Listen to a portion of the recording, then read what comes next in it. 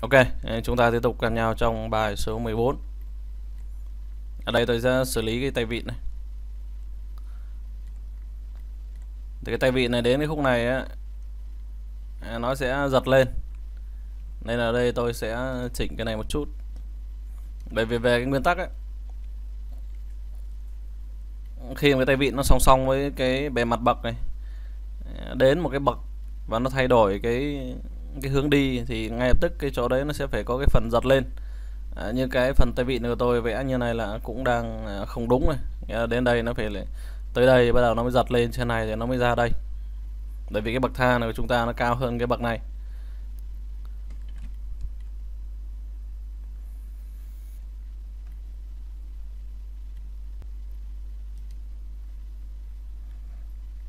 Ừ, nhưng mà trong à, 3D S Max thì cái cái chuyện diễn họa đấy nó cũng ờ, nó chỉ là tiểu tiết thôi, nó không quá quan trọng.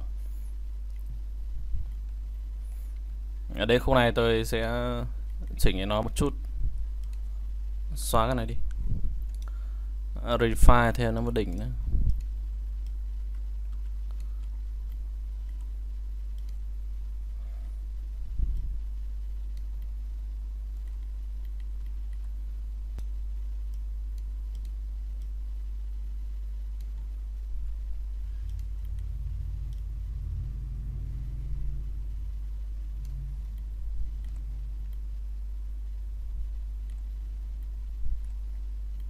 Ok tương tự chỗ này. Tôi sẽ refine thêm một đỉnh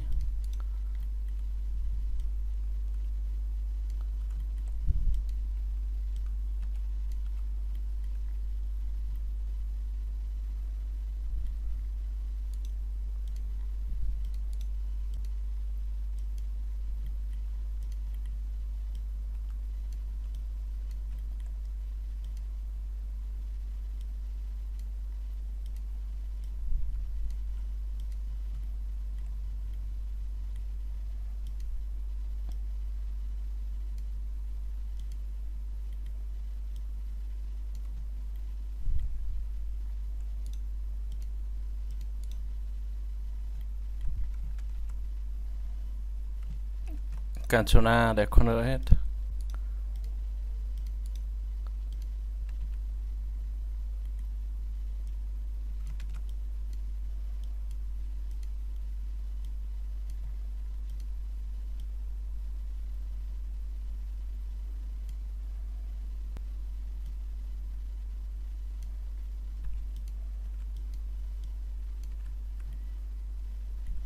Okay.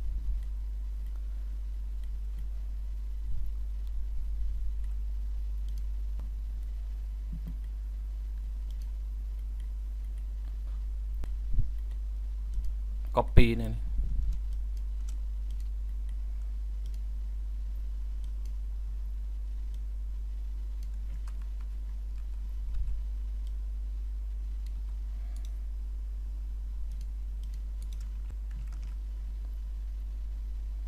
Wow.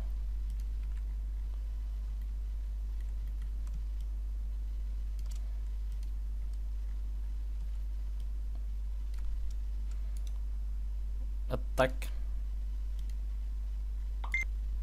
wow.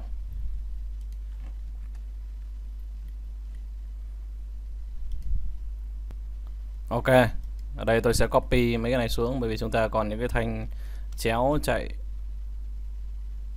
song song nữa. Thì cái số lượng thanh chéo này thường ờ, do, thì cái thanh chéo này nó phụ thuộc vào cái quan điểm của từng người người ta thường người ta sẽ thích cái số lẻ. Nó rơi vào cái số lẻ sinh lão bệnh tử. À, thì ví dụ như chỗ này chúng ta sau này sẽ sử dụng cái sắt tròn à, sử dụng cái sắt tròn phim 16 thì à, tùy vào cái cái bố trí các bạn. Làm sao mà lấy à, tổng là 5 thanh hoặc là 7 thanh thì tùy. Ví dụ như chỗ này nó đang hơi dày chẳng hạn thì chúng ta sẽ làm cho nó à, chạy bốn thanh thôi, bốn với một tay vị nữa là năm. Như vậy là à, đủ rơi vào cái cung đẹp.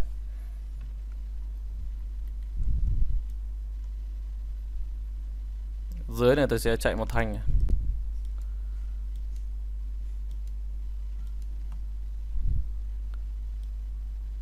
đây có hai thanh. Ok. À, cái khúc này chúng ta sau sau này sẽ bỏ đi ở chỗ này nó hơi rối. Attack hết lại.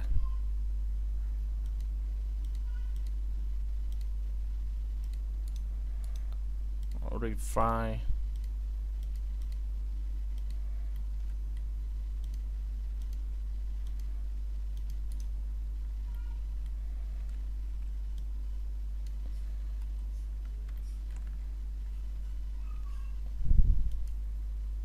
Rồi chúng ta chạy thôi, chọn đối tượng. Path deform. Pick path. Move to path. E.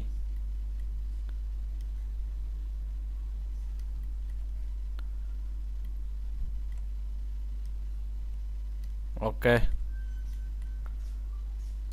Collapse tool.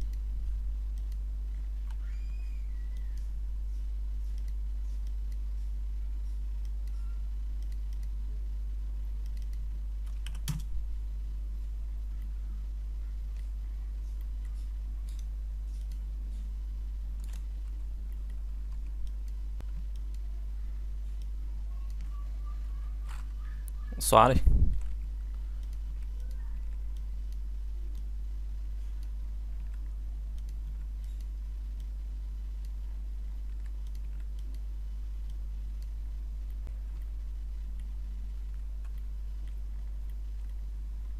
Tương tự chỗ này.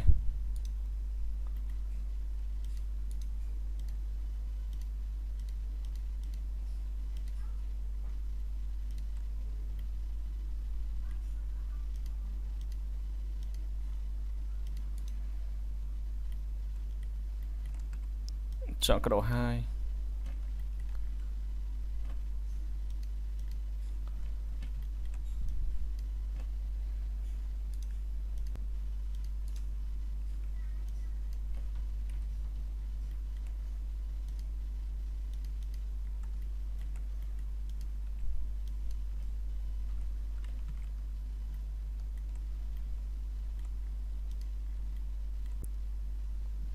cái phần bên này à, tôi sẽ copy này sang cho nhanh.